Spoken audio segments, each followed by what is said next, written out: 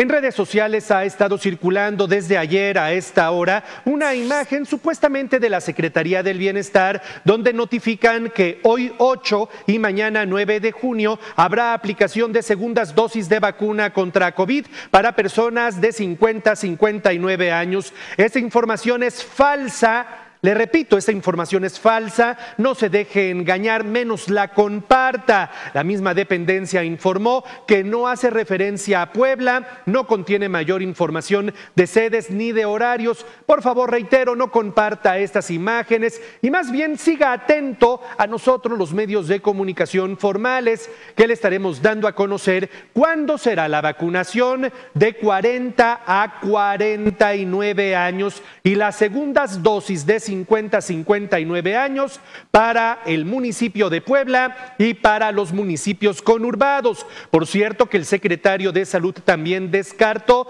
que haya registro de vacunación, es otra fake que está circulando desde ayer que ya se están registrando personas de 18 años a 39 años de edad. Es completamente falso. Eso en realidad no está, no, no, está, existiendo. Si de repente se encuentra con algún registro que dice que es para personas de 18 a 39, mejor no le conteste, no sea que le vaya a caer un virus o un hackeo a su computadora o a su celular.